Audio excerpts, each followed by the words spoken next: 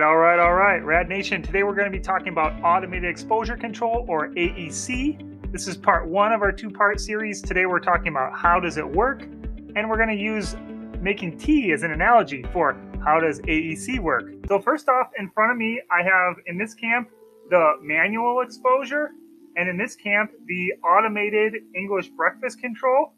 And then Luca's going to have his own tea here too. In both cases, when we make a cup of tea, what really matters is actually the amount of time, right? The how long that tea bag is in to steep for. So this is our AEC, and this is our manual. AEC allows us a way to, in an automated method, change that time based on monitoring the exposure received at the detector. In our x-ray tube, you have the generator, which is providing your high voltage to the tube itself. Then the x-rays are going to be generated within the tube, and then out comes a beam of x-rays, which would be shown here, for instance. Here you can see that the ion chambers are actually placed directly before the image receptor and these ion chambers can be calibrated out so that they're not visible in the actual image, but the ion chambers are going to be used to measure the radiation dose which is getting to those ion chambers and hence the radiation dose which will be received at the image receptor. If you'll notice, we just covered the manual exposure because the idea is in a manual exposure, we only are going to check the time. So in a given amount of time, we're going to see if that tea is ready. Whereas in an automated exposure technique, we have some parameters. We know the kind of tea bag and we know how much milk we want to add. Those are parameters like your KVP and like your density setting or the setting that you have to adjust the noise on the system. First off, we want to talk about safety. With any automated exposure control system, you're going to have a backup timer. So within the generator itself, if the exposure control system is not working properly, there is a backup timer such that the x-rays will not be on for an infinite amount of time. Backup timer on some systems can be set, on others it's fixed, but it's there as a fallback to prevent significant overexposure in the case that the automated exposure system is not working properly or is not being used properly. There's also a set of user controls. So you are going to start with a reference protocol, which will have a KVP defined within that reference protocol. So that's part of your user controls is what KVP is your base protocol working from. And then the other control that you have is an adjustment knob for dose. So if you want higher dose, you can turn it up. If you want lower dose, you can turn it down. And you can use that to compensate for size of patient.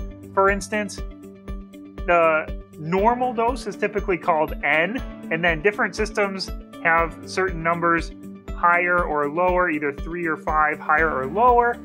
And that just indicates you're using either more or less dose. In a manual technique, you are setting the parameters ahead of time and the system is just going to acquire for that long. In an AEC technique, you can actually watch. So an AEC technique is going to be more reliable, more reproducible if done appropriately.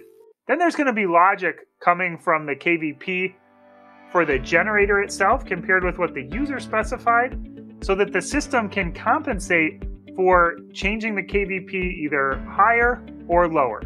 So coming out from our ion chambers, where the gas within the ion chamber is ionized or electrons are essentially freed from that gas.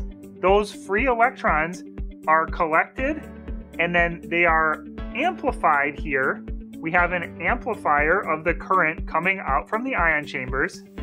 For the amplification process, there's then a comparison process which takes into account the KVP comparison with the reference the additional user interface of do you want more or less dose, as well as the signal which is coming from the ion chambers. The comparison reaches a point where a significant flux has been detected within those ion chambers. There will then be a break in the system here, which will stop the exposure. You can see here the break in the system here, which stops the exposure and the x-rays are gonna be off after that point. If you're finding some value here, and I hope that you are, give us a thumbs up so we can spread this rad love to more people. Do you think the ion chamber should be? Should it be before or after the anti-scatter grid? So x-rays are coming in this direction. They're gonna pass through the anti-scatter grid. They're then going to be measured in our ion chamber and then measured at our image receptor.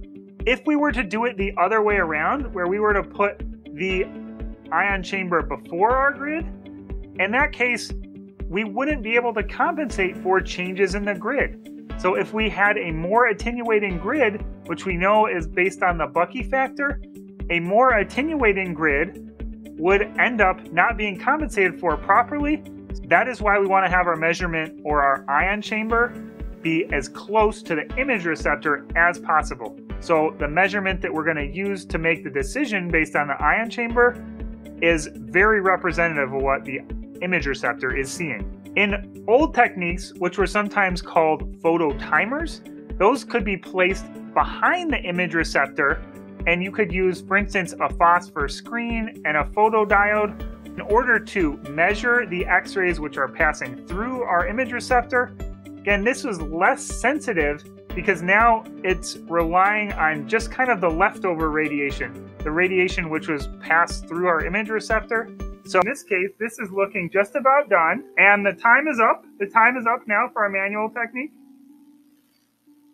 And we've got to have some cream in here because we're not savages. Here's Luca.